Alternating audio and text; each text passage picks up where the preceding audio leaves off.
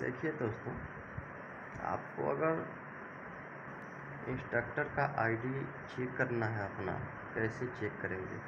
सबसे पहले क्रोम या गूगल खोल लेंगे।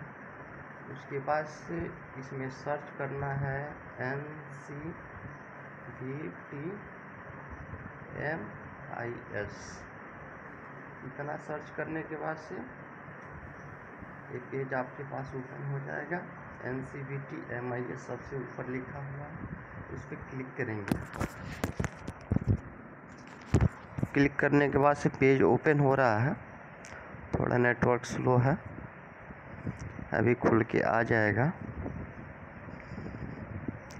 खुल गया, यहाँ से दिया है होम आईटीआई ट्रेनिंग, वेरिफिकेशन, और यहाँ दिया है इंस्ट्रक्टर। इंस्ट्रक्टर सर्च करना है। इंस्ट्रक्टर सर्च करने के बाद यहाँ आ रहा है। देखिए मैं अपना खोल के दिखाता हूँ। यहाँ पे इंस्ट्रक्टर का स्टेट किस स्टेट में आप जॉब करते हैं? स्टेट आ गया। स्टेट अपना दबा लेना है, जो भी हो। उसके बाद से इंस्ट्रक्टर डिस्ट्रिक्ट आ रहा है। इंस्ट्रक्टर डिस्ट्रिक्ट अपना चूज़ कर लेना है। जैसे मेरा गो गोपालगंज है। गोपालगंज मैंने चूज़ कर लिया। ओके कर दिए। उसके बाद से आईटीआई नेम, जैसे मान लीजिए कि किसी को ना पता हो। ट्रेड, किस ट्रेड में डाला गया है, मान लीजिए कि नहीं पता है, इंस्ट्रक्टर को जो कोई है इसमें जो नहीं पता है तो बस केवल यहाँ पे क्लिक कर देना है आपका इंस्ट्रक्टर नेम।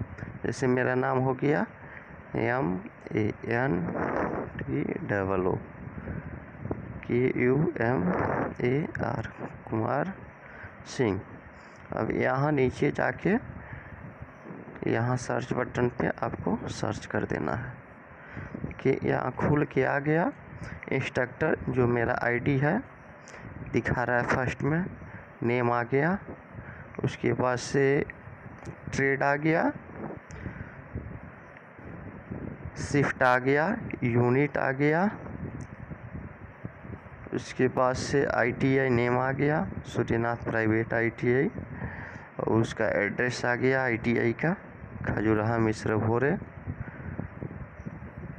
उसके बाद से डिस्ट्रिक्ट आ गया और स्टेट आ गया।